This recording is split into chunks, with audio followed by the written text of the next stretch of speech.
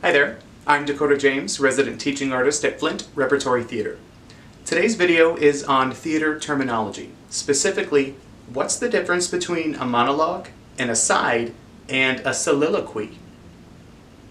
First, a monologue is a long speech given by a character on stage that is to or overheard by the other characters on stage.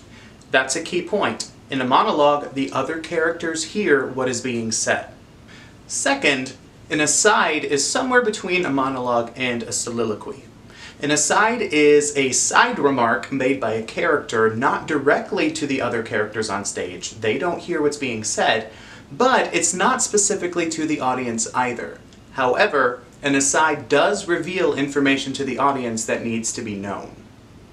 Third, on the other end of the spectrum, a soliloquy is a long speech given by a character on stage directly to the audience. There may be other characters on stage, but they do not hear a soliloquy in the realm of the story.